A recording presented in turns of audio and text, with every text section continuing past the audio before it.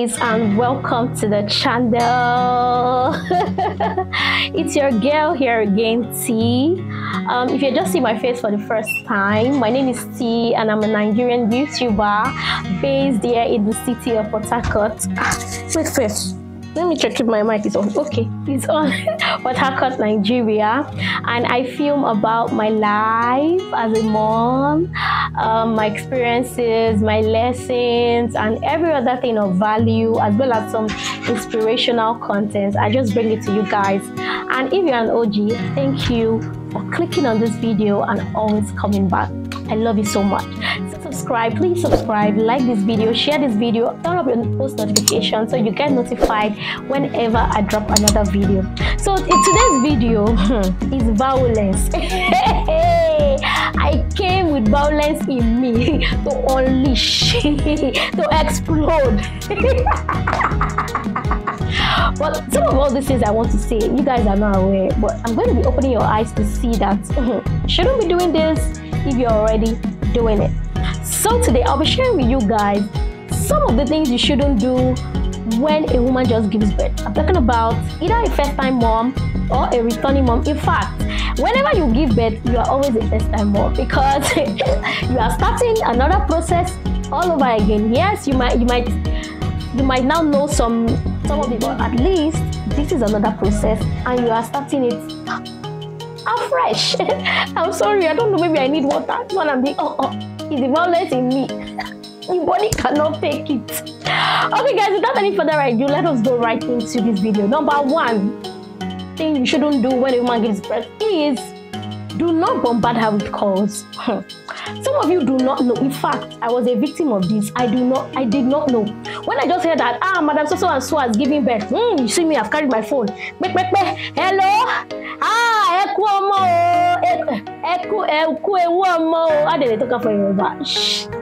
Congratulations o thank God for the baby sometimes the lady is going through a lot you don't even know if the woman gave birth through cesarean section or she just had an episiotomy. Is it episiotomy? Yes, episiotomy. And she's going through excruciating pain. You don't know how long the labor was. And that call at that time she does not need it. She just needs to rest because labor is a lot of stress and she has gone through a lot. I kid you not. And you bombarding her with so many calls. Some of you will call like 10 times. Ah, ah. If you want to check on the mother, call the call the husband. You can try to reach out to the husband or you send her a message she's going to reply you know this same thing happened to me i know yes everybody wishes me well and all of that they may not know like me i didn't know in fact, my friend had to collect the phone and then switch off my phone because it was too much. I was not even sleeping. If I say, okay, let me just close my eyes and sleep, they've called me. Hey, I know, yes, they are so happy, safe delivery. I know you are happy, but then I think just try to give her a break. Do a message. I think that is more appropriate. Do a message. Call. Don't call yet. Like call the husband. I mean, call the husband. Let him know that you send you send your regards to the wife and then later when they are home relaxed you can now call them.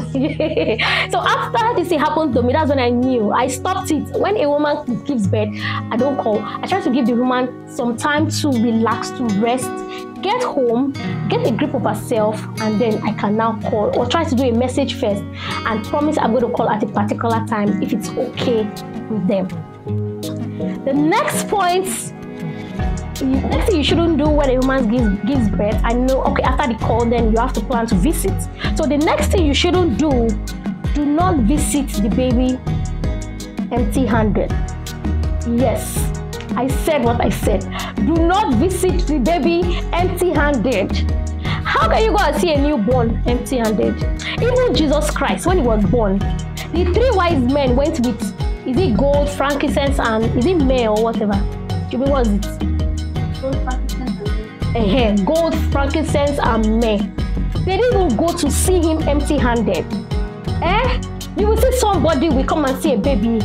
You will not even buy, even if it is one bottle water. Okay, or even should use this one bottle water, or just a sachet of detergent. Okay, people should use this um, um, sachet of detergent to wash my baby's clothes. Or you must not bring any everything. Like your action matters. How can you come and see a, a, a baby empty-handed? If you don't have anything to buy, even if it's five naira, put it in the hand of the baby. Give them. Don't come and see a baby empty-handed. Abba now. And I'm sure these babies in their mind will be saying, "Look at this aunt. Can't even see me without bringing anything. Mommy, don't give her coke. Mommy, don't give her Maltina." And they even give you Maltina if you still drink. You will not say, "Oh, madam, thank you. I just chopped belly food." when you are going to see a newborn, always try to give, even if it's something small, you know, something small. I'm not saying that you should give the whole world, something small. The, your intention, the intention matters, not actually the gift. Now, the third thing you shouldn't do when a new baby is born is do not carry the baby until you are being offered. Some of you just know how to pass your boundary. You will just go to see a newborn. Maybe the baby is even sleeping inside the cot. Oh. You will just go, hey, congratulations, oh. You go and carry the baby. Auntie, did they send you? Uncle, did they give you the baby? I know yes, so it's your baby. You were there. You were even there when she conceived. In fact, you were even in the bedroom when the husband and your wife were doing the do. Sit down. Sit down, your seat. That seat that they gave you. Sit down there. Don't carry the baby until you are offered. They want you to carry their baby, they will go inside. Even if the baby is in the room sleeping, they will go inside. I've gone to see a baby before, and I just sat in the parlor, just with the mom and all of that. And the baby was even sleeping. And they went into the room and they brought the baby for us to carry. Don't offer to carry the baby until you are giving. Sometimes some of these babies they come with, you know, you don't even know the health condition of the baby at that time. Maybe they're trying to curb infection and all of that, and you you're not even washing your hands. You don't go and carry the baby to your chest, and that polo you have not washed ever since you bought it. Auntie, uncle, please stop it. Try as much as possible to sit down understand boundaries. You know, in Nigeria, we don't understand boundaries, and I don't know why. Try, sit down, don't carry the baby until you are offered to carry the baby. If you're enjoying this comment in this video, please just be dropping the violent comments in the in the comment section. I want to know if you guys agree with some of these my thoughts because all these things have been happening time and again, and I just decided that. Ah, why don't I come and tell people, let them know that it is what it is. Like, we don't have to be keeping quiet anymore. So, the um, fourth thing you shouldn't do is, even when you offer the child, try and wash your hands, you get? know these children they just came and they are so fresh they are so innocent like they are so clean. You you're already used to the environment. Yeah your body can withstand it please. You don't even know the microorganism that is already hiding in your fingernails and in your hands try and wash your hands just tell the mom please excuse me can you get me a washing water or and a, maybe a soap let me just wash my hand before i carry the baby please try as much as possible to wash your hands before carrying the baby. In fact, right, mothers of nowadays are beginning to be aware of some of these things. Before you even enter, they've already dropped rubber and um, something one place. They'll say, oh yeah, oh, auntie, oh, go wash your hand. before you even enter inside, you are washing your hand before you come inside the house because they know that you have to carry the baby before you leave. Innit? So the next thing you shouldn't do when you are being given a child or when you go and visit a new baby is do not kiss the baby. Haba. Haba. Some people don't even I don't even understand how some people like don't kiss the baby. Why would you kiss the baby? Why? I've seen this times and again, and I wonder. In fact, the day I gave birth, my mom was even telling me when I I was already out, and she was like, ah, "Do you know they just brought a newborn and these people have started kissing the baby and like don't kiss the baby." Let the baby be, auntie. Don't kiss the baby. Don't even know if you have brushed your mouth like that. It's not even about whether you brush your mouth or not. Don't. It's not right. It's not right. Don't kiss the baby. Okay, I know. Yes, you love the baby. Oh, I know. Yes, you love you love the innocence of the baby. But do not kiss the baby. Let the baby be. Please, I, please, please, please. I know, yeah, it comes with a oh feeling, but don't kiss the baby. And my final point here is do not stay long. Mm-hmm. Mm. Some of you, except you're even coming to help, oh, if you are coming to help yes you can stay at least. You are coming to help the mother.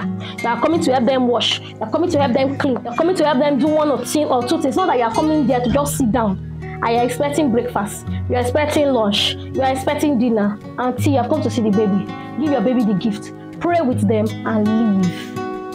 Mm, leave stay there oh i'm not saying you should not stay there but don't stay too long because the mother might need to go and rest. You know if you are there now she'll just be there gisting with you from one gist to another. And she has not slept all night because the baby has dealt with her all night. You know those children they will not sleep all night. Then during the day when you should, when, when, when they're supposed to be sleeping that when they're supposed to be awake that's when they'll be sleeping. And you know the mother needs to catch some nap and all of that. So if you are there she might not be able to leave you but she might feel oh it's rude. Oh i don't want to offend this person. Oh i don't want to do this Oh, uncle and brother, please just stay, even if it's an hour, 45 minutes. Do not let it exceed an hour, except maybe you are helping them with something to get so the mother can rest. You know, the mother can rest. I said I don't want this video to be too long, so I've just hope I've been able to bring it to you and not why some of these points are so important. You shouldn't joke with them at all. When a baby is born, try to do some of these things and find peace. I'm sorry guys, this is not my usual video, but I decided to bring it up. Um, we've come to the end of this video. Thank you so much and I hope you enjoyed it. And I hope you enjoyed it. Like this video, subscribe if you're yet to subscribe. Drop me a message in the comment section. I will really appreciate that and I hope to see you guys in my next video. And most importantly, take care of yourself. You are important. You are worth it. You are of essence. See you guys in my next video. Ciao.